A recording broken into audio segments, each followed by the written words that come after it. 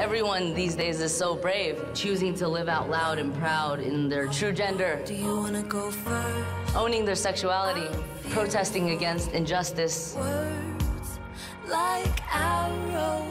Getting bangs. People just be out here getting bangs, y'all. Are you still in love with her? Are you still in love with Jeff? You ever been in love? Once. His name is Elijah. I'm sorry that I just came out of the closet like two minutes ago, and I'm trying to figure out who I am. It is so messed up to think that your life only matters to you. You can't save me!